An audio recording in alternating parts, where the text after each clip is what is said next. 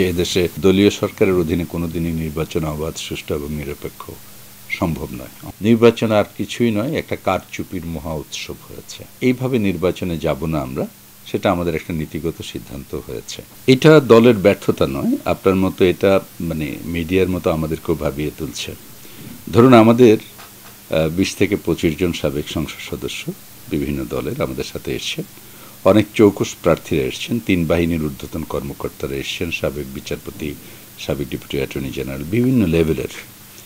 এবং এনারা যে শুধু তাদের প্রফেশনেই খুব চৌকস ভালো তা না, এনারা ভালো রাজনীতিবিদও বটে, অনেক পুরনো। দল হিসেবে আমরা নতুন ছিলাম, হয়তো পাঁচ বছর মাঠে কাজ করে নির্বাচনে এসছি, আমাদের শক্তিমত্তাটা বোঝার জন্য।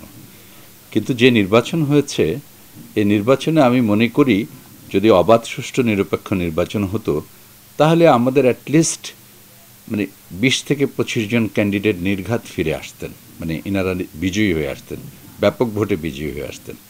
আপনি আমার আসনকে দেখেন, সেখানে যদি আপনি দেখেন যে কাজ আমি করেছি, যেখানে আমি ফর্টি ফাইভ ইয়ার্স পলিটিক্স করছি, আমার হাতে সব কিছু গুছানো, সেখানে সকাল আটটা থেকে নটা, সাড়ে নটা পর্যন্ত যেটুকু ওয়ান পার্সেন্ট ভোট হয়েছে, তারপরই তো সব যা হয়েছে সেটা আমি প্রতিনিয়ত বলে এসছি এবং সেখানে বলেছি। এক পর্যায়ে আমি জেলা প্রশাসক মহাশয়কে বললাম ওনারা অবশ্য নিউট্রাল ছিলেন কিন্তু সহকারী রিটার্নিং অফিসার প্রিজাইডিং অফিসার এবারে নির্বাচনে একটা নতুন মেকানিজম দেখলাম যে তাদেরকে দিয়ে ম্যানিপুলেশনটা করানো হয়েছে এবং যারা দলীয় নেতাকর্মী আছেন তারা তাদের মতো করে করেছেন। অ্যান্টিঅক্সিডেন্ট ও ফ্লেভোনয়েড সমৃদ্ধ ফ্রেশ প্রিমিয়াম টি এক কাপে কাঁপিয়ে দিন। এমনকি তারা এত অসহায় ছিল পুলিশের গাড়ি ভাঙচুর করেছে, পুলিশের অন্যান্য গাড়ি ভাঙচুর করেছে, তারা অসহায়ের মতো দাঁড়িয়ে দাঁড়িয়ে দেখছে, কিছু করতে পারেনি। এই একই অবস্থা হয়েছে ধরেন আমার মহেশখালীতে, আমার নীলফামারিতে, আমাদের সুনামগঞ্জে, ডলি সায়ন্তনীর এলাকায়, অনেকগুলো আসনে, যেগুলো নির্ঘাত হয়ে আসতে পারতো, আমার ভারপ্রাপ্ত সভাপতি ফরিদপুর একে। তো এই আসনগুলো যদি ফেয়ার ইলেকশন হতো, অনেকে ফিরে আসতো। আমার কাছে খুব আশ্চর্য লাগে যে সরকার বিএনপি নেই মেজর বিরোধী দলগুলো নেই বিএনএমের সাথে এতটা বৈরিতা কেন করলেন? বিএনএমের বিশ পঁচিশ জন সাবেক সংসদ সদস্য সহ যে চৌকস প্রার্থীগুলো আমরা আসলাম, কেন আমাদেরকে নির্বাচনে হারিয়ে দিতে হবে? এই চিন্তাধারাটা ক্ষমতাসীন দলের মাথায় কেন আসলো বা কেন এমনটা করল, এটা আপনাদের মতো আমাদেরকেও ভাবিয়ে তুলছে।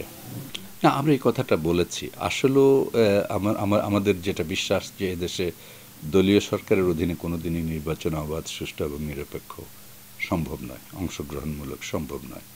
কারণ হচ্ছে যে ইভেন এবার তো ধরেন তারা তারাই মানে একটা ক্ষমতাসীন দলের প্রার্থী এবং স্বতন্ত্র প্রার্থী, একই কাজিন জাস্ট মামাতো খালাতো ভাইরা যেরকম হয়, সেরকম তারা তাদেরই দলের লোকজন।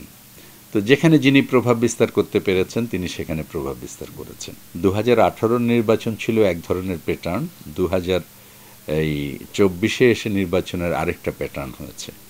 এবং আমাদের যেটা সরল মন্তব্য ছিল সেটি হচ্ছে, নির্বাচন আর কিছুই নয়, একটা কারচুপির মহা উৎসব হয়েছে। এই কারচুপির মহা উৎসবটা যেটা আপনি যেমনটা বলেছেন, আসলে কোনো দলীয় সরকারের অধীনে এই দেশে নির্বাচন অবাধ, সুষ্ঠু, নিরপেক্ষ হওয়াটা যেমনি সম্ভব নয়। এবং এটা যদি এক দলও নির্বাচন করে, একটি দলও নির্বাচন করে, তাহলেও সম্ভব নয়। এইভাবে নির্বাচনে যাব না আমরা। সেটা আমাদের একটা নীতিগত সিদ্ধান্ত হয়েছে। তারপরেও আমরা সংগঠনকে শক্তিশালী করছি সারা দেশে। প্রত্যেক মহানগরে, প্রত্যেক বিভাগে, প্রত্যেক জেলায়, প্রত্যেক উপজেলায় সাংগঠনিক কার্যক্রমকে অনেক জোরদার করছি। যেখানে দুর্বল আছে সেটাকে ফিল আপ করছি।